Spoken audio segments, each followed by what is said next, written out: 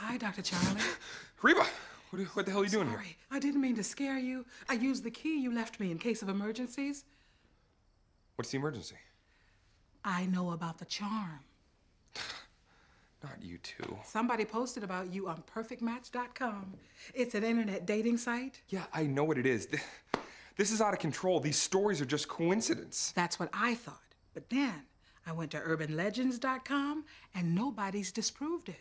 Reba, I'll see you at work on Monday. Good night. Dr. Logan, you've always been there for me. When you need a day off. Yes. When you need a lift home from work. Yes. When Reggie died four years ago, you sent that beautiful card.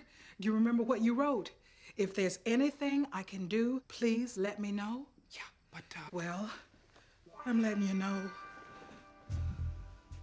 that's not what I had in mind. These panties are edible, but I'd avoid the tush area as I've been sitting for about three hours. Reba, I'm not the guy for you. I'm not saying you are, but the next guy might be. Dr. Charlie, if we're together, I know I'll find my soulmate. That's ridiculous. No. No, Reba, don't cry. It's okay. Ah! Come on, Dr. Charlie. You gotta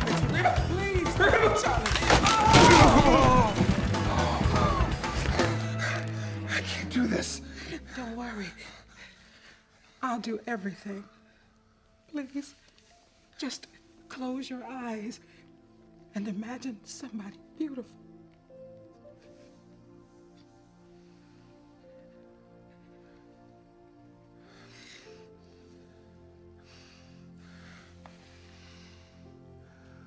Imagine you.